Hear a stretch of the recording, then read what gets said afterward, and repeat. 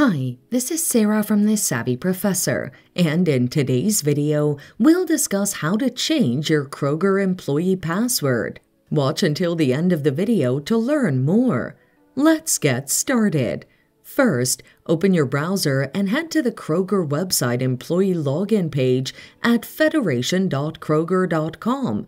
The full link is in the description.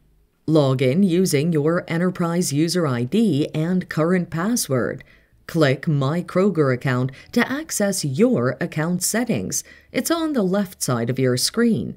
On the next page, click the Password option.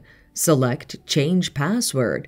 Enter your new password under the New Password field. Next, re-enter your new password under the New Password Confirm field.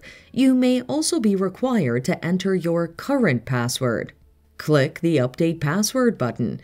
You'll then be asked to confirm making the changes. Tap the Save option. Remember that your password must meet certain criteria for the changes to be accepted and to take effect. So, there you have it. Changing your Kroger employee password is that easy.